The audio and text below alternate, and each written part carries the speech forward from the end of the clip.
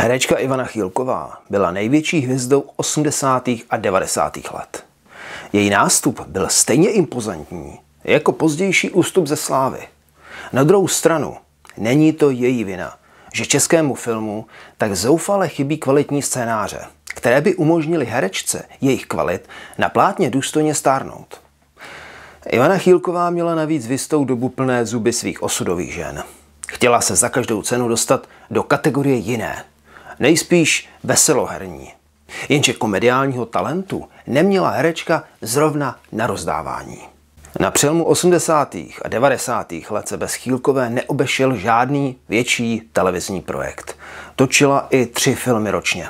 A to ponechám stranou její divadelní práci, protože v určitém období hrála třeba i ve třech divadlech naraz. O Ivaně Chýlkové se dá říct, že navázala tam, kde skončila jiná česká superstar, a sice Jana Brejchová která se těšila stejné popularitě jako ona, pouze o dvě dekády dřív.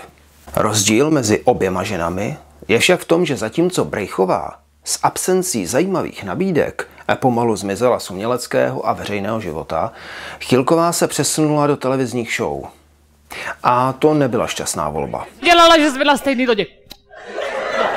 Já si to všechno zapíšu, co říkáš. Co si o tom ona sama myslí, není snadné zjistit, protože herečka poslední roky prakticky nedává rozhovory.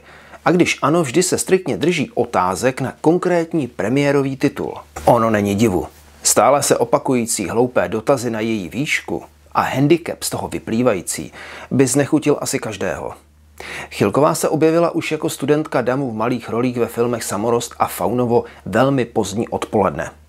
Ale hvězdu z ní naplno udělal až film Dobré světlo, kde si zahrála milenku hlavního hrdiny. Měla obrovské štěstí, že film režíroval zrovna Karel Kachyňa, který byl pověstný svou precizní prací z herci. Herečka vzpomíná, že před ním neměla žádný ostych, když se slékala, protože ho považovala za usedlého, postaršího muže. To ale nikdo netušil, že za čas si vezme ještě mladší ženu, než byla ona sama. No když to nafotíš šikovně, tak to nikdo nepozná. Chilkovou film Dobré světlo vyvezl na pomyslnou horskou dráhu, ze které dalších 15 let prakticky neslezla. Modelka? Jo. Prosím tě, kdyby si scháněl hospodyni nebo kuchařku do ty tvý jeskyně, ale na co modelku? O rok později dostala další příležitost zahrát si v těžkém psychologickém dramatu Papílio Jiřího Svobody, kde byl jejím partnerem Milan Kněžko. Dokázala své postavě křehké, zamilované mladé ženy vtisknout uvěřitelnost, kterou u Kněžka nenalézáme. Dalším zlatým hřebem do sbírky byla role Terezy, partnerky výtvarníka Vladimíra Boudníka ve filmu Něžný barbar, který natočil v roce 1989 Petr Koliha. Vladimíre, ty zvíře, proč mě tak trápíš?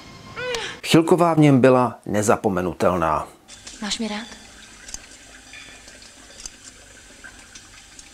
Máš nebo nemáš?